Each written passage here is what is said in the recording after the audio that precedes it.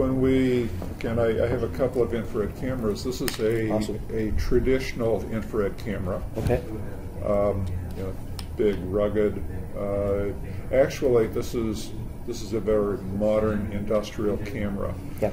Um, when I say industrial, you know, the uh, you know, I'm not concerned about dropping this on the floor. I can drop this on the concrete floor, pick it up, and continue working. Cool. Okay, very nice, very rugged piece of equipment. If we were going to go out and do an infrared examination in the year 1995, which isn't very long ago, uh, we would have spent all day today getting our equipment ready and preparing to go out because Wow. the infrared camera required liquid nitrogen for cooling, required a lot of batteries. The, uh, the, the, the equipment to do an infrared inspection, you would take a, a whole day to prepare. You know, where today, you know, you've got a, an instrument that you just pick up and go. You know, replaceable batteries, uh, rechargeable batteries. You know, it's uh, ready to go almost cool. all the time. That's yeah. cool. Yeah, it's, it's great. You want to take a picture of me? Let's take Do a it? picture of All you. right. Okay. So, oh, you look great. But I'm not getting your fingers. I'm just getting your face. Okay. Wow.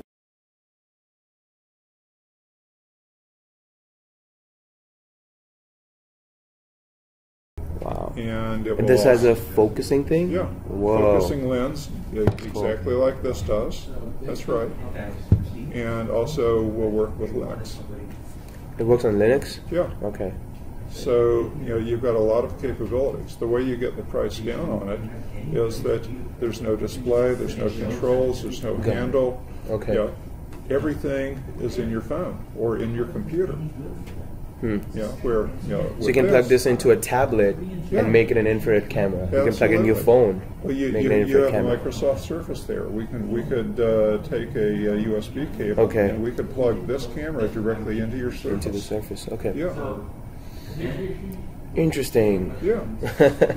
Now the, these advances. And they, you're yeah. saying they have the same capabilities? These Yeah, two?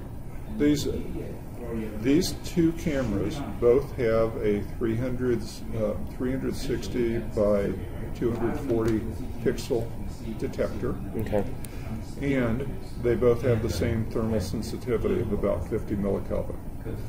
So technically, these two cameras perform exactly the same.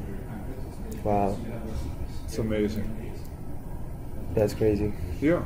And then does it have to do with the uh, with the resolution of your device, the screen that you're looking at? Uh, no, that that's. What if it's an uh, old computer from 90s?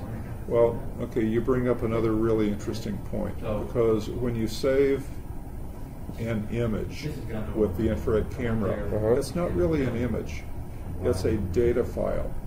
What you're Okay. what you're saving is a discrete value associated with each pixel. Mm, The image that you see, See. is generated by the computer. computer. So it's a function of how good your screen is, the That- yeah, resolution. that's that's exactly right. Mm, yeah. Uh, another thing that's very interesting about about all of this is that you know we have a tremendous, tremendously advancing technology in drones today, UAVs, Interesting. Yeah. and you know when you have a, a big heavy camera like this, you know that's that's not so uh, adaptable to to drones, but a camera like, Like this, this. yes, which is very low power, very high performance Yeah. you know, you can easily adapt to uh, uh, to UAVs.